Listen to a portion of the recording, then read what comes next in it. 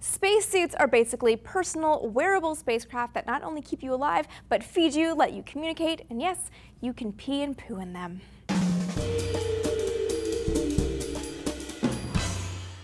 Hey guys, Amy here for DNews.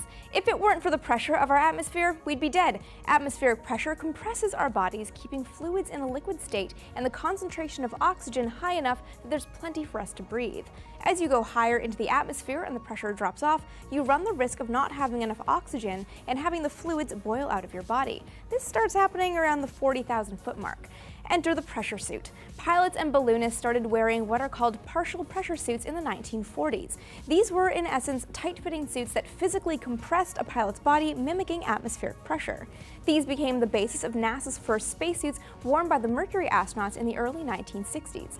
These were relatively simple Earth orbital missions during which the astronaut didn't leave the safety of his pressurized spacecraft, so the suit was there to protect him from a sudden loss of pressure. The suits contained a small amount of trapped gas that would expand to inflate the suit if the cabin depressurized, saving the astronaut. But NASA had bigger plans and wanted to send its astronauts out on spacewalks, so the spacesuit needed to change. The Gemini suits were full pressure suits with airflow and communications coming in through an umbilical connecting it to the spacecraft, but otherwise gave the astronauts portable, wearable little atmospheres, because they were walking in space where there is no atmosphere.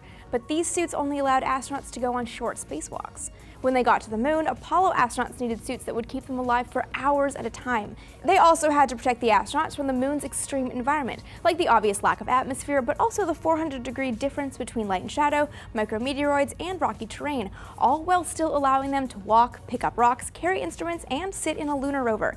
It was a fully functioning suit that kind of acted like a personal spacecraft. And it was basically made up of three parts.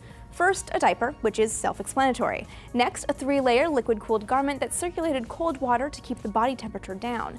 And over those two, the astronauts wore a one-piece, 22-layer bulky and cumbersome suit with built-in boots. It had a drink pouch in the helmet so they wouldn't get dehydrated, and a full communication system. So basically a personal spacecraft. And as the space program grew, spacesuits evolved. They were no longer custom made, which would have been a problem for me.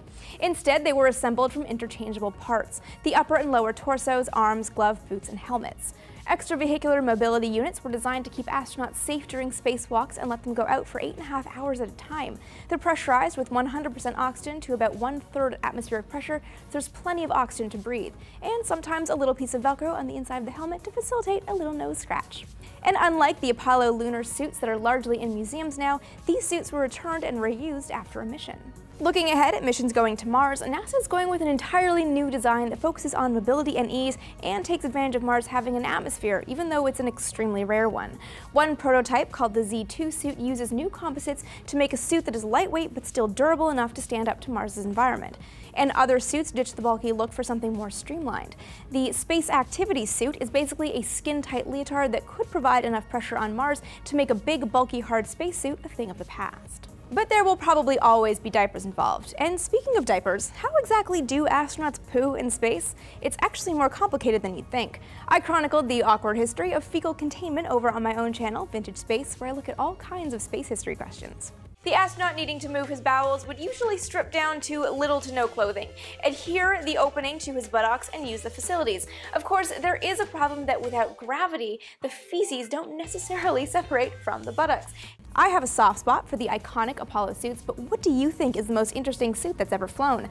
Let us know in the comments below. Don't forget to like this video and, of course, subscribe so you never miss an episode of DNews.